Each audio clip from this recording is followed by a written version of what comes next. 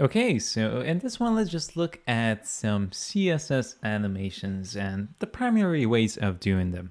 So in this case here, I just have an empty index.html and an empty style.css. So if you want to follow along, feel free. If not, that's fine as well. We're not really building out anything here, so just enjoy back and watch if you want to. Okay, so what I'm gonna do is I'm just gonna hold shift and one, which is gonna give me an exclamation mark and hit tab. So that's just gonna generate a kind of a boilerplate uh, HTML here for us, like the basic structure of it.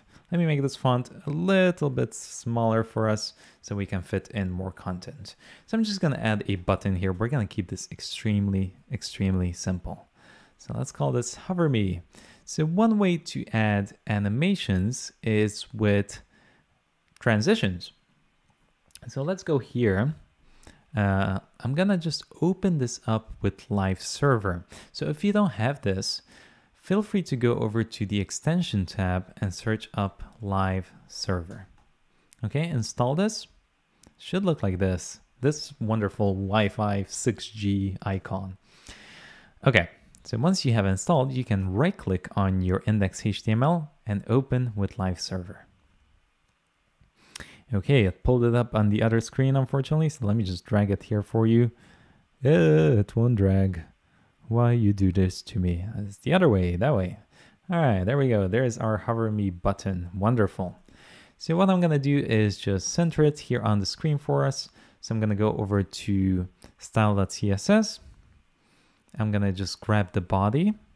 So body, I'm gonna add a display flex to it, which allows us to center the button in the middle of the screen.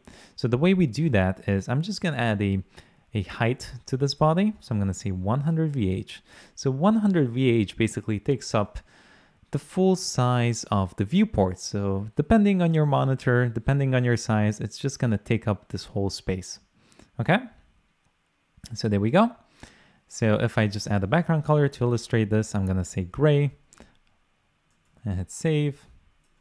Now it doesn't work because I need to link my, my style sheet here. So let's just grab this style.css and hit save. All right, so there we go, full screen right there. So if I do 50 VH, it's gonna basically take up 50% of my monitor's height.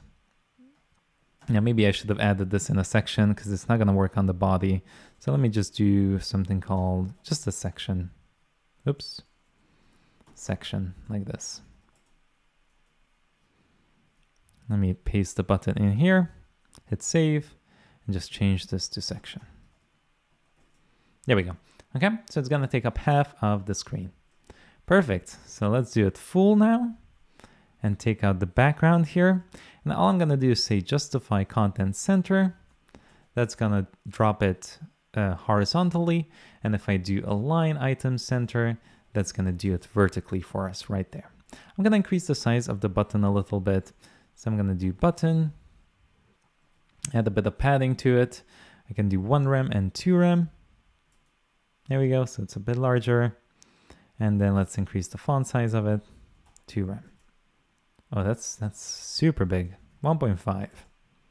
There we go, just so we have something on the screen here. Let's also get rid of that border. I'm gonna say none. There we go.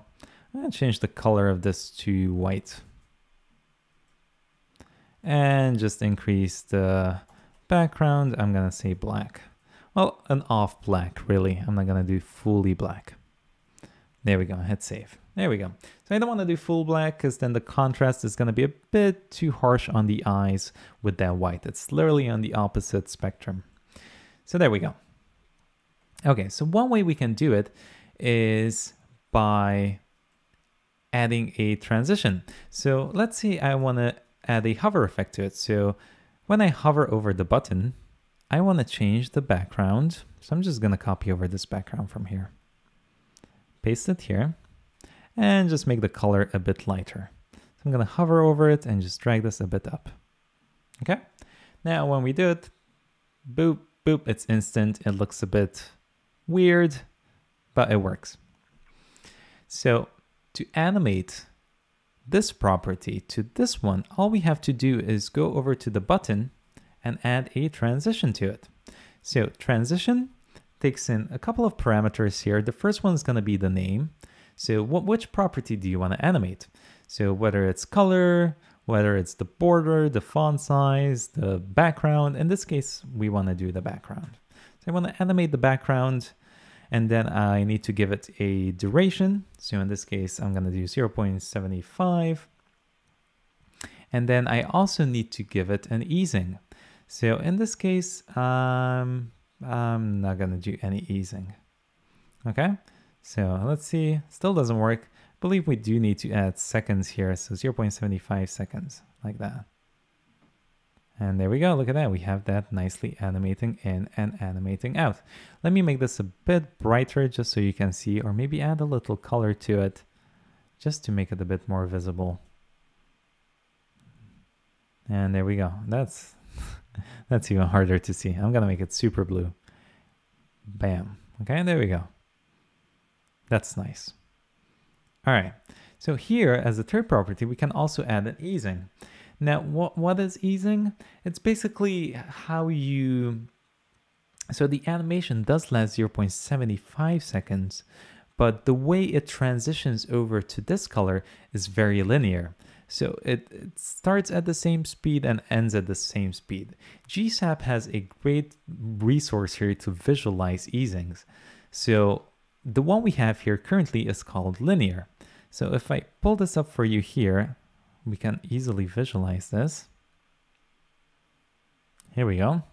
Let me drop it in here. There we go. So if we go over here, let's see, does it have linear? It might not have linear, you know, just custom, oh, none. Okay, so this is what's happening uh, with our animation right now. It starts off, it goes the same speed, right? It lasts for one second. How much is this? I believe they have like two seconds on here, but as you can see, it goes the same speed. Now, if we add a little curve to it, like power one here, with an ease out, as you can see, it starts faster and it slows down towards the end. Now the duration is the same. Oh, here we go. It's 2.5 seconds. The duration is the same.